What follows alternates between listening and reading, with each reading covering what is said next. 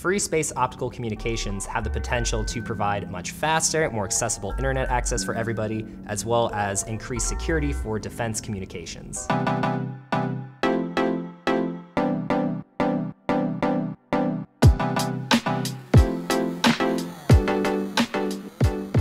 Hi everybody, I'm Corey. And I'm Kyle. And today we'll be talking about free space optical communications, commonly abbreviated as FSO.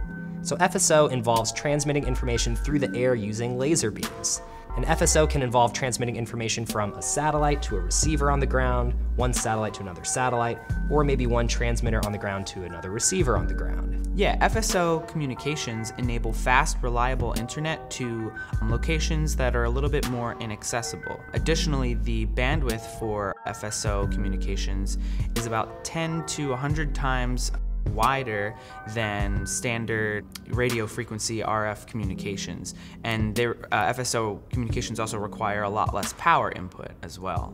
One other thing is that the costs associated with setting up ground-based stations for FSO communications are also significantly reduced. And this is because, you know, the alternative technology is really laying optical fibers down and that requires a significant amount of digging uh, and, and laying, running these cables. And in addition to providing broader bandwidth and more accessible internet access, FSO communications are also very applicable for the defense space.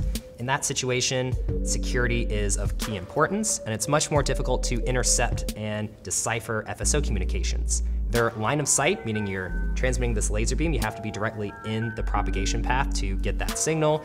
You would need a matching FSO receiver in order to intercept it. You can't intercept it using a spectrum analyzer or RF meter. And then the receivers used for defense communications can be mobile and easy to transport when in use.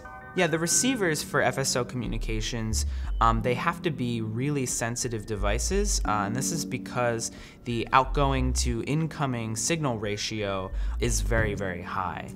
Additionally, the um, pointing accuracy of the devices needs to be high, uh, needs to be very large as well because of the narrow beam divergence of laser-based communications. And then finally, a tight mechanical tolerancing is always good because um, that helps prevent roll and decenter in these laser optic assemblies as well.